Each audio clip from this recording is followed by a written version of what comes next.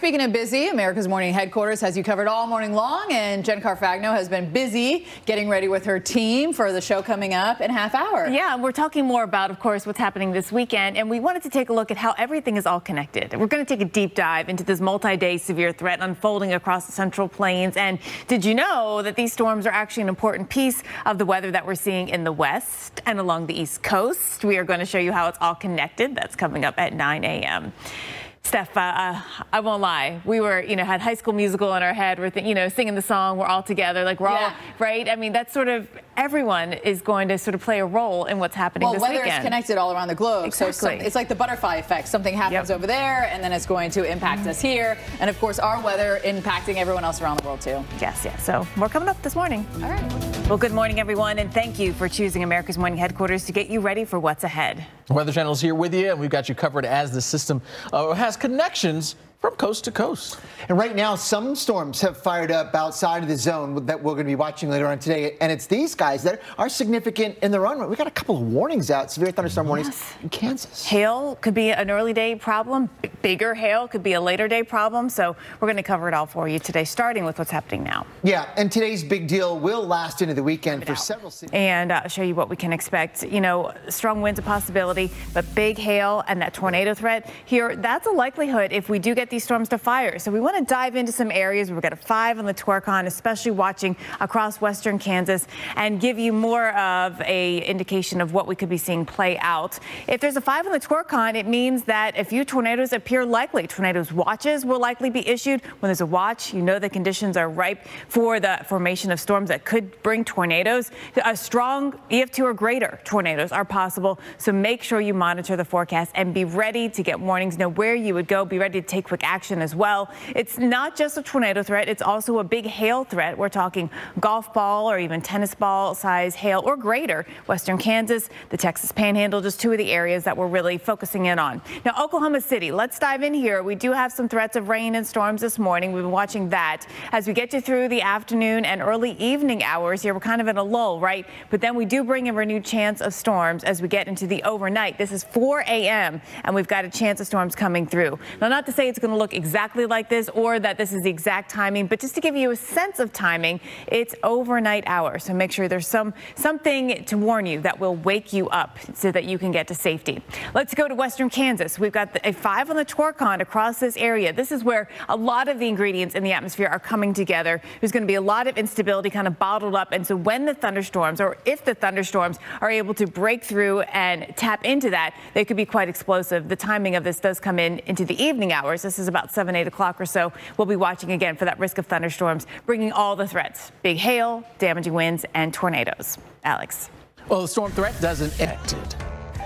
Yes, when we talk about a system of weather impacting different regions, it might be difficult to connect the dots. How does one impact the other? But our current stormy pattern actually is a prime example of the domino effect. So we're going to disperse and show you how the weather from coast to coast is all, all connected. Right. We really are, and we're going to connect the dots here so you can see how everything plays a role together. I mean, it's the jet stream really is connecting it all, and it's all coming into the lower 48 from the west coast, coming from the Pacific. Let's see that in an instant replay. So we're going to disperse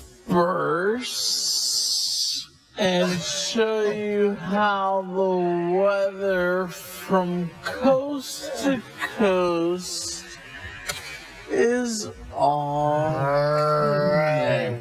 We and so we've got two disturbances in particular that are going to come in on the jet stream and help influence our weather through the central part of the country. But we start with how it impacts our weather here in the west. So first one coming in through the southwest. This is going to move up into the plains. Greg will get to that. Next one comes in as we get you later in the weekend, and uh, later in the week, and then through the weekend, that's going to be the trigger for weekend severe weather. But before it gets there, it's actually causing weather in the west with rain and mountain snow. More snow coming back to the Sierra. We've got a winter weather advisory up there in the Cascades. The wind is really going to be strong. Wind advisories up here through Southern California and into New Mexico, where the wind is a factor, of course, of its own right, but also bringing the fire concern. And we've got a risk out there, red flag warnings that goes through tomorrow. The wind, the dry conditions, this could help fuel fires and help them move fastly. Now, of course, this is connected with the storms that we're going to see in the middle of the country. Yeah, it is. And you know, you brought up a couple things. One, the cold and stormy weather in the west. Oftentimes, when you think of severe weather in the middle part of the country. This is just not even fun. DC is going to hit 90 before Atlanta will, and many other locations Yeah. in the south. Yeah, yeah, yeah. But that's a strong ridge. Strong ridge. It blocks yep. everything. Blocks it it up. blocks everything. This is why we have two two big systems coming into the middle of the country. There's nothing to really move them Mm-hmm. east. Everything's blocked. Block, block, block. How do we unclog it? Well, it might take a week or so. It's going to take a kick from something. Yep. All right. Well, don't forget our question of the day. We are asking you. Watching out for that. We've got the hail tracker to show you where that could be. And again, this is going back here. That was that starting at 8:30 Central Time. Uh, you know, watching right here, just south and west. Hail size Mm-hmm. over an inch in size. Quarter size hail is, would wear you out for severe limits. So anything above that is going to be even, of course, more damaging. All right, so here's sort of the setup here for us as we get towards the mid part of the day. Jen, you talked about that warm front. There it is. There it is right there. And we continue to deal with those winds generally coming out of the south, southeast at the surface. That's just helping to bring in more of that moisture from the Gulf of Mexico. And so the background colors here show us where we've got the stronger low level winds. That's always an important feature when you have a really strong low level wind and then you see how that changes in the first you know, couple thousand feet up there above it. Uh, that can help uh, determine if there's going to be any spin in the atmosphere that will allow the storm to rotate, but also the instability really building. Yeah, it really uh, builds here throughout the afternoon and into the evening. And then uh, the thing that we have to watch out for, we've been talking about this here the last couple of days, is what's happening as you work your way aloft. Do we have that cap, that lid in the atmosphere? Well, there is a warm layer aloft that is going to kind of delay the storm action. But if we can get those thunderstorms to pop through that, things could really get uh, hectic pretty quickly. They have a lot of juice to feed them here if they can get through that. So watch that through the overnight hours. Again, the dry line still a feature in helping to lift as well. And this will continue as we get even maybe through the overnight hours. Yeah, and then unfortunately we have to deal with uh, more Again. of this activity progressing into Friday, into Saturday, into Sunday. It just becomes very tiresome. That's a great way to put it. I imagine the forecasters all across the middle of the country, the local ones, the ones at SPC are like, oh gosh, please, Yeah. Yeah. can this end? No Well, rest this weekend. Yeah, this weekend, exactly. So let's have a look at the broad brush view here. Showing